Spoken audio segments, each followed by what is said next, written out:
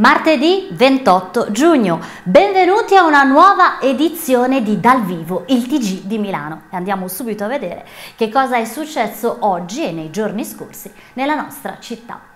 È stata presentata infatti giovedì 23 giugno presso l'Auditorium Giorgio Squinzi la seconda edizione di Your Next Milano. Il rapporto annuale è promosso da Asso Lombarda in collaborazione con Milano Partners che mostra la reputazione della città nell'ambito dei rapporti economici internazionali.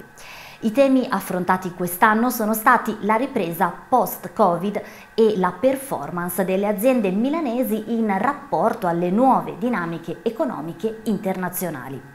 Il rapporto ha mostrato che non solo la reputazione della realtà milanese è ancora comparabile a quella di grandi capitali come New York, Tokyo e Berlino, ma che nel periodo seguente la crisi pandemica l'attrattività di Milano verso gli investimenti esteri è addirittura aumentata rispetto al periodo precedente i lockdown.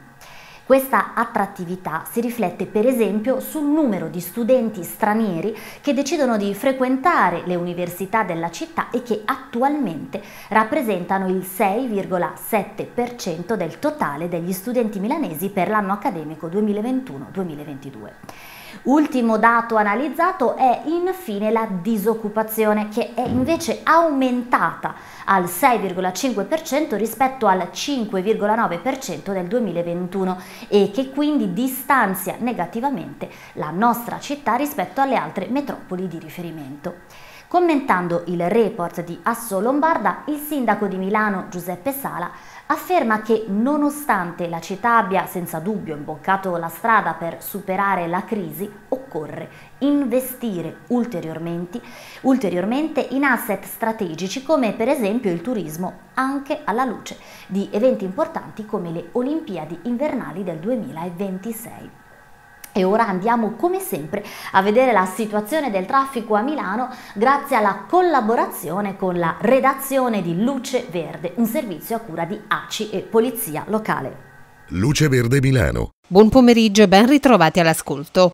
Code per traffico intenso sulla A4 Trapero e Cormano in direzione di Venezia. Proseguono i lavori sulla Milano-Lecco con code tra Monza e Lissone verso Lecco. A Milano rallentamenti per un incidente su via Comasina altezza incrocio con via Modignani. Tutto pronto per il concerto Love Me in piazza Duomo. Potenziato il servizio delle linee metro 1 e 3 con prolungamento dell'orario di servizio. Chiusa fino a cessate esigenze la fermata metro Duomo. Deviazioni per le linee tram 2, 3, 12, 14, 15, 16 e 19. Modifiche di percorso anche per diverse linee bus. In programma lavori notturni sulla A4. Chiuso a partire dalle 21 di questa sera il tratto tra Viale Certosa e Sesto San Giovanni in direzione di Venezia. Riapertura prevista per le 5 di domattina. Per dettagli su queste altre notizie potete consultare il sito milano.luceverde.it. Bene, da Patrizia Ferrara è tutto, grazie per l'attenzione, a più tardi. Un servizio a cura dell'ACI e della Polizia Locale di Milano. Grazie come sempre a Luce Verde, continuiamo con le nostre notizie. Scadranno giovedì 30 giugno le esenzioni dal reddito, in particolare la E30 per patologia cronica e la E40 per malattia rara. Questa tipologia di esenzione non rientra infatti nei rinnovi automatici effettuati dal Ministero dell'Economia e delle Finanze. Inoltre a partire dal 1 luglio terminerà anche il regime transitorio post-Covid. Le esenzioni da reddito E12 per disoccupazione ed E13 per cassa integrazione o mobilità avranno una durata massima annuale, non saranno automaticamente rinnovate e la loro scadenza sarà fissata al 31 marzo di ogni anno. E adesso andiamo subito a vedere il nostro collegamento perché ieri vi abbiamo parlato dell'iniziativa di SOS Lambrate per l'informazione in ambito sanitario sulla gestione delle emergenze. Oggi vi proponiamo un'intervista con Giulia, responsabile della formazione esteri, esterni dell'associazione SOS Lambrate. Quindi grazie mille Giulia e ti chiediamo subito in che cosa consiste l'iniziativa.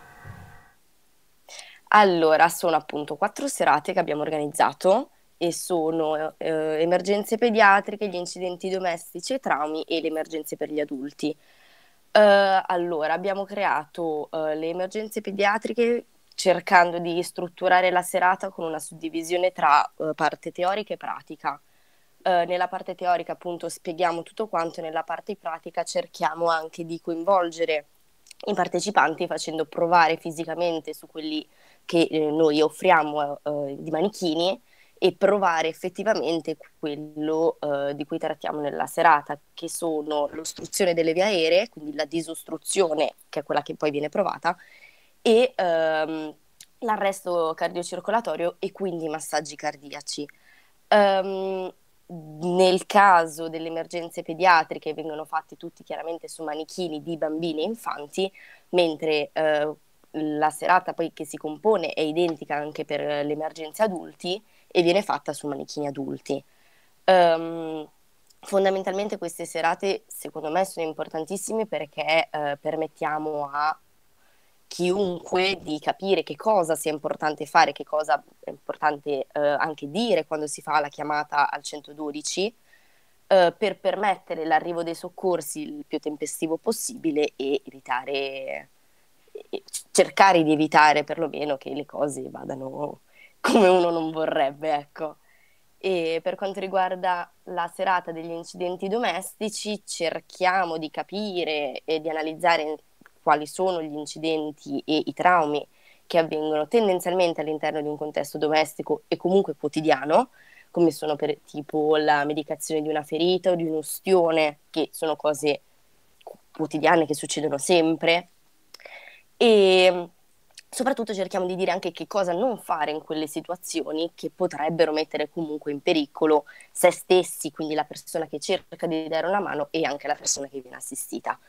Uh, tutte queste lezioni sono sempre comunque associate a una spiegazione di quanto sia importante allertare i soccorsi, nel senso che questi, um, queste serate di formazione non forniscono nessun tipo di certificato se non un certificato di partecipazione e appunto sottolineiamo l'importanza di chiamare i soccorsi senza andare a sottovalutare situazioni perché uno ha partecipato a questo tipo di corso, ecco, quindi eh, rifarsi sempre a chi è qualificato e, e competente per far questo.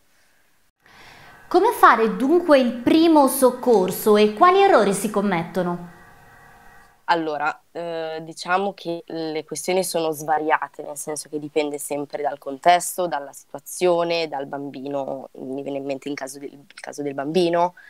Eh, sicuramente è importante mantenere la calma, è la prima cosa fondamentale che per quanto eh, è quasi una situazione paradossa, nel senso che eh, una situazione di emergenza e urgenza è difficile tenerla calma, però quello è il tipico errore invece che si fa anche quando ci sono per esempio incidenti in strada, di creare confusione. La confusione non aiuta a lavorare bene, sia a noi soccorritori che anche al eh, cittadino che sta a servizio, cerca di aiutare per quel che può fare eh, durante la situazione.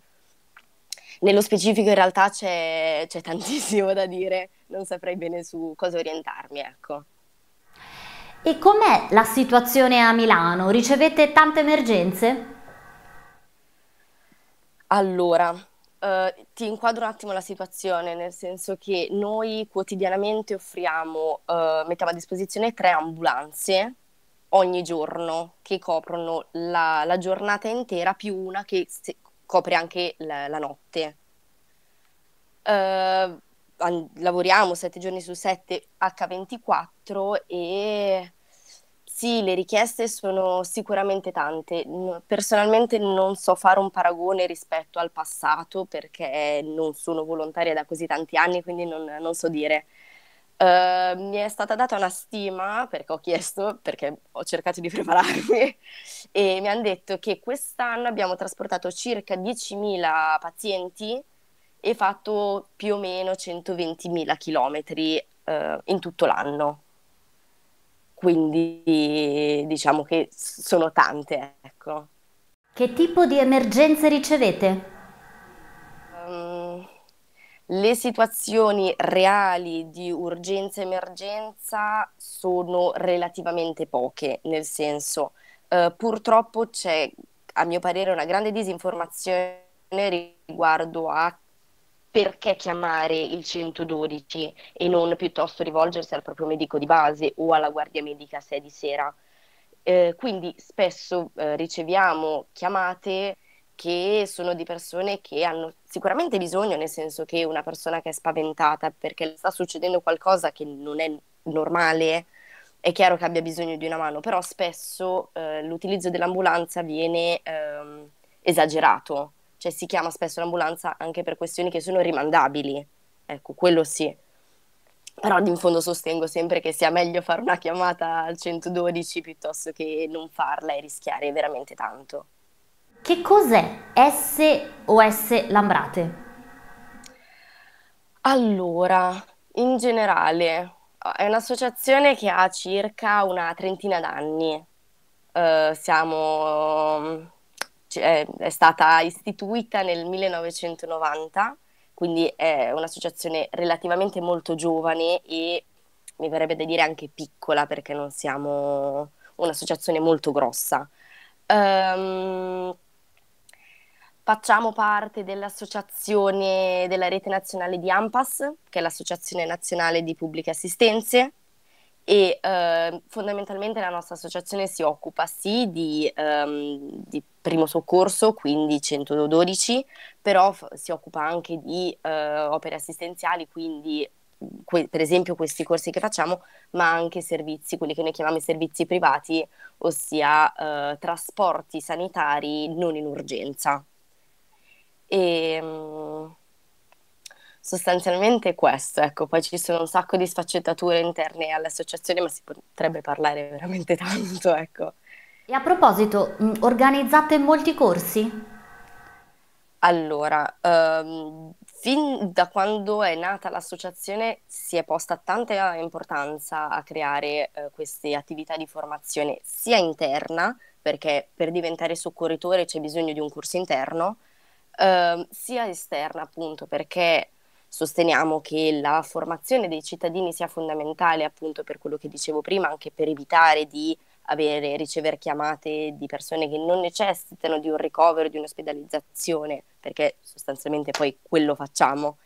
E, um, e inoltre perché ci sono anche evidenze scientifiche che attestano di come interventi tempestivi, precoci possono aiutare e salvare la vita anche di persone prima dell'arrivo dei soccorsi, perché purtroppo a volte, eh, per quanto i tempi a Milano siano brevi del, dell'arrivo dei soccorsi, purtroppo a volte non basta neanche quello, quindi la, diffondere le informazioni e capacità uh, a tutti quanti, perlomeno metterne a disposizione, uh, è fondamentale per cambiare un po' le cose, secondo me, per, uh, per permettere, chiaramente in base a situazione, contesto, però anche di, di salvare veramente qualcuno. Ricordaci le date. Uh, venite al corso organizzato all'auditorium Stefano Cerri in via uh, Amadeo, no non è Amadeo, scusatemi, in via Valvassori Peroni 56. Um, ehm, le serate organizzate sono giovedì 23 giugno per le emergenze pediatriche, lunedì 27 giugno incidenti domestici e traumi, giovedì 7 luglio emergenze pediatriche e mercoledì 13 luglio emergenze adulti a partire dalle ore 21. Grazie mille Giulia. Perfetto. A voi. Ciao. E adesso andiamo un po' a vedere la situazione dell'area Milano in questo momento grazie alla collaborazione con Wiser. Il Wise Index oggi è di 9, quindi come possiamo vedere dalla grafica eh, direi insomma ben sotto la soglia di emergenza speriamo che continui così anche nei prossimi eh, giorni Inoltre eh, oggi è martedì e quindi come ogni martedì vediamo anche la situazione della criminalità nella nostra città grazie alla collaborazione con Mindcrime. Le immagini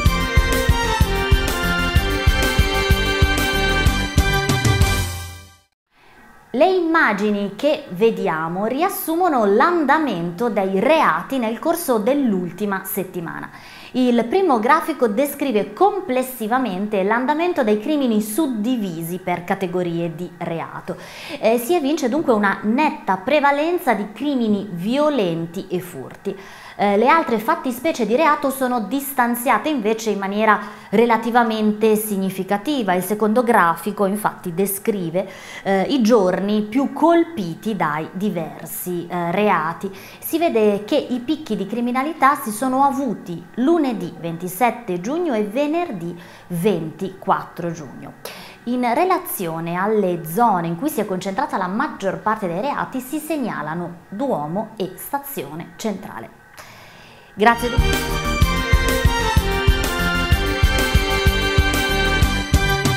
Come sempre dunque a Mindcrime continuiamo con le nostre notizie. In particolare oggi per questa notizia ringraziamo il nostro inviato di quartiere Mario Donadio per averci segnalato che i lavori al Parco dell'Anello, nome che i residenti hanno dato all'anello di allenamento del Parco Chiesa Rossa Missaglia, non sono ancora completati. Questo nonostante le numerose promesse iniziate nel 2017 e che avrebbero dovuto trovare realizzazione nel 2021. I lavori nell'area hanno avuto inizio appunto nel 2017 quando sono stati piantati i primi alberi e posate le panchine. Nell'arco di 5 anni sono state messe a dimora circa un migliaio di piante, 600 delle quali sono alberi da frutto donati dall'associazione Boschiamo, i cui frutti peraltro sono a disposizione di tutti. Nel 2021, dopo anni di lavori e dopo la realizzazione dell'impianto di illuminazione pubblica, la zona si presentava quasi complicata. Cosa manca dunque ancora? La fontanella. Ci sono già state sia le rilevazioni di MM sia la messa in posa delle tubazioni necessarie. A chiederla a gran voce oggi sono soprattutto gli sportivi e i bambini, o meglio le famiglie dei bambini che usufruiscono del parco per allenarsi o per giocare. Noi di Milano News continueremo a tenervi aggiornati, quindi continuate a seguirci. Ci spostiamo adesso per vedere le notizie che riguardano la viabilità pubblica grazie alla collaborazione con ATM che comunica che a causa del concerto Love Me in programma stasera presso Piazza Duomo le linee M1 e M3 resteranno operative fino a tarda notte ma vi saranno alcune modifiche al servizio. I treni della linea M1 in direzione Ro-Fiera faranno capolinea Molino Dorino. Inoltre, al fine di mettere in sicurezza l'area del concerto, la fermata Duomo è chiusa dal primo pomeriggio di oggi. Per effettuare il cambio linea sarà quindi necessario usare le stazioni di Centrale, Loreto o Cadorna. Dopo la chiusura delle linee metropolitane, dal momento che la partenza dell'ultima corsa prevista sarà attorno all'1.10, entreranno in servizio dei bus sostitutivi. Per fermate orari dei bus consultate il sito ATM effettuando una ricerca per le linee bus NM1, NM2 e NM3. Inoltre, a causa dei lavori di riqualificazione dei binari e degli scambi dei tram in piazzale di Porta Lodovica, ci saranno cambiamenti nel servizio di alcune linee di superficie. In particolare, fino al 30 luglio, il tram 9 è sostituito dal bus B9 tra Piazza 5 Giornate e Porta Genova. Infatti per raggiungere il capolinea a Porta Genova è necessario scendere alla fermata Piazza 5 giornate e proseguire con i bus B9 che passano nelle vicinanze che fanno le stesse fermate del tram fino a Porta Genova. Ancora notizie, questa volta dedicate all'emergenza ucraina. È stata un successo la campagna di raccolta farmaci e prodotti sanitari nella città metropolitana di Milano organizzata dalla Croce Rossa, anche grazie alle consistenti donazioni di Lioz Farmacia. L'iniziativa, che ha coinvolto molteplici farmacie del territorio, prevedeva che quando un cliente acquistava un prodotto tra quelli inseriti in una lista stilata dalla Croce Rossa, gli venisse offerta l'opzione di pagare per un'ulteriore confezione destinata alla popolazione ucraina ucraina. Sono così stati raccolti 12.000 prodotti che vanno ad aggiungersi ai precedenti 6.000, raccolti in un'iniziativa simile a marzo. La prossima donazione dovrebbe avvenire a novembre, quindi se volete partecipare tenete gli occhi ben aperti dopo i mesi estivi. Per i cittadini ucraini che arrivano spontaneamente in stazione centrale è presente H24 Lab Ucraina nel sottopasso Mortirolo. Punto informativo di prima accoglienza aperto 7 giorni su 7, 24 ore su 24, dove ATS assicura la presa in carico sanitaria e le attività di registrazione. Si tratta di un'iniziativa realizzata dalla Regione in collaborazione con il Comune, la Prefettura di Milano e Fondazione Progetto Arca. Il sito è gestito dall'ASST Fate Bene Fratelli Sacco e dall'esercito italiano. L'Hub Ucraina inoltre fornisce tutte le informazioni di base e provvede a segnalare eventuali necessità alloggiative alla Prefettura di Milano che si occuperà della successiva gestione. Procediamo ancora perché come sempre abbiamo il nostro focus dedicato al non profit. Grazie oggi alla nostra inviata del municipio 3 Giuseppina Rosco che ci ha segnalato che il 29 e il 30 giugno presso il giardino di via Zanoia. Alle ore 21 si terrà Bombino il suono del deserto, uno spettacolo musicale organizzato da Noma, spazio teatrale Teresa Pomodoro, con il patrocinio del Municipio 3 nell'ambito dell'iniziativa culturale Giardini Musica. Bombino non è solo uno spettacolo ma è anche una testimonianza di determinazione e caparbietà nella ricerca del proprio posto nel mondo. Dopo un'infanzia trascorsa tra i pascoli di Libia e Algeria studiando da autodidatta la tecnica di Jimi Hendrix e Mark Knopfler, Infatti Bombino è diventato un affermato chitarrista e compositore, conosciuto a livello internazionale per le sue collaborazioni con artisti del calibro di Steve Wonder, Stevie Wonder, Kate Richard e Giovanotti. L'evento si terrà in presenza ma con posti contingentati, quindi non lasciatevi scappare questa occasione prenotando il vostro posto mediante una mail all'indirizzo noma-noma.it. Noma però è scritto N-O-H-M-A. Per chi fosse impossibilitato a partecipare, lo spettacolo sarà anche trasmesso in, in streaming sul sito di Noma, appunto. Grazie per averci seguiti fino a qui in questa nuova edizione di Dal Vivo e continuate a rimanere collegati con noi. Buona serata a tutti.